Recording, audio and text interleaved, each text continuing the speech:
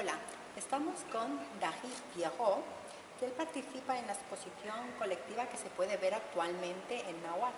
Hola, David. Hola, ¿qué tal? ¿Nos puedes hablar de las obras que has expuesto? Pues, ¿Dónde estás? Sí, eh, he hecho cuatro eh, sobre el tema de, de, de, del autismo y de literatura, porque había dos exposiciones al mismo tiempo. Y entonces quería hacer eh, un mezclaje de los dos, de las dos temas. Entonces, um, mi, mi, mi sobredo favorito es como la, las mujeres y también la, las caras, como las, retratos. retratos. Y entonces fui, empecé a hacer como ah, cosas am, eróticas y también de- para su- sugerir am, como que, que sorten de un, de un libro que y como la, la historia, la, la parte de historia un poquito de, de,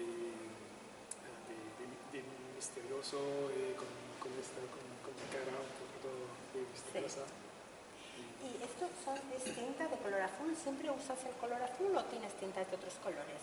Tengo, ah, tengo otros colores, pu- pu- puedes ver aquí como una mezcla de, de rojo y de azul, pero sí, uso usualmente el azul porque me gusta mucho y también hay con esta técnica de tinta y acuarela puedo hacer como un, un degrado de, de, de azules diferentes, entonces me, me gusta mucho. Pero sí hay veces que utilizo otros colores, pero ah, hoy en día utilizo más el azul, me gusta el azul, y es diferente. ¿Y cuando empezaste tenías esta misma forma de pintar o era diferente? ¿Has cambiado? Mm, Este estilo de, de splash le, le encuentro como un poquito como de, de. De- fue en 2015, un poquito después de, mm, de los eventos en París, de, en Charlie Hebdo, y empezaba a dibujar esto porque fui un poquito ah, emocion- emocionado.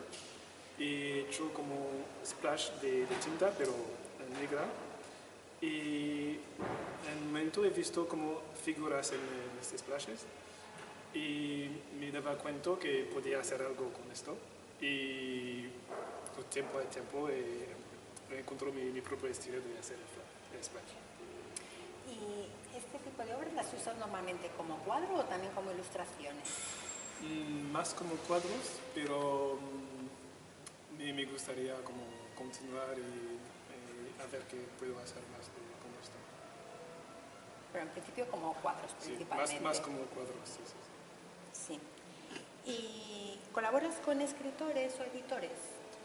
Ahora no, pero tengo un proyecto que solo está empezando y eh, sobre como ah, historia de, mitología eh, griega y sobre las constelaciones. Entonces, un, como esto de, de épico y de mitología y las constelaciones de todo esto.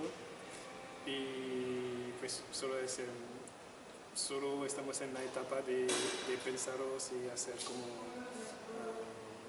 ah, probar cosas y, Vale, porque la idea es usarlo solo como cuadros en principio, y al ¿no? principio sí, pero No para aplicarlo sobre otros objetos o así. Quizás con es- escultura, pero es un poquito más complicado en 3D, pero ahora es solo en, en 2D con eh, pintura. Pero a ver si puedo hacer otras cosas. Pues muchas gracias. Gracias a ti.